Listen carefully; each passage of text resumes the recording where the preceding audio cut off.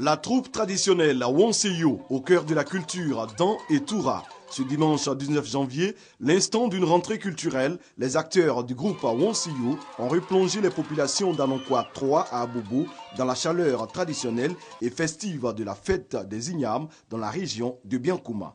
Le Wonseyo a présenté le masque guerrier ou masque gendarme qui a pour mission de purifier l'espace de danse et de le débarrasser de tous les esprits malfaisants. Le masque Munugog entre ensuite en scène pour donner à cette illustration de la fête des Ignames en pays d'An et Toura tout son caractère festif pour le grand bonheur des populations qui se fondent dans cette ambiance du village.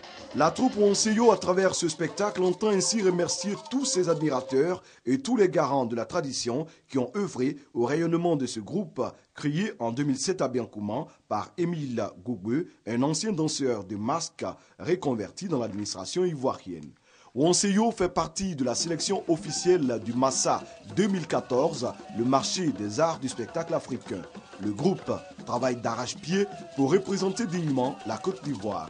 Le groupe Wonseyo qui regorge euh, des jeunes talents de la région de Bonnet, mais du département de Biakouma. Nous voulons leur montrer la culture dans et Toura dans sa plénitude. Le Grand Masque, le Guégonkui est le troisième tableau présenté par la troupe Wonseyo. Le Guégonkui, le masque protecteur, celui qui fait les bénédictions, celui qui est un des symboles de la culture dans et Toura, n'a pas failli à sa réputation de danseur garant de la tradition.